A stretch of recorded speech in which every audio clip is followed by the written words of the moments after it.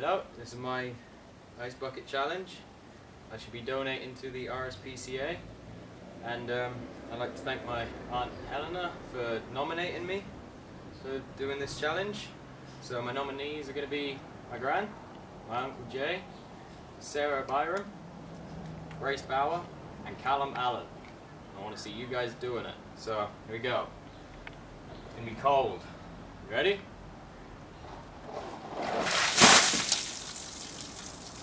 Hot. That's cold. Thank you. Alright, I'm done.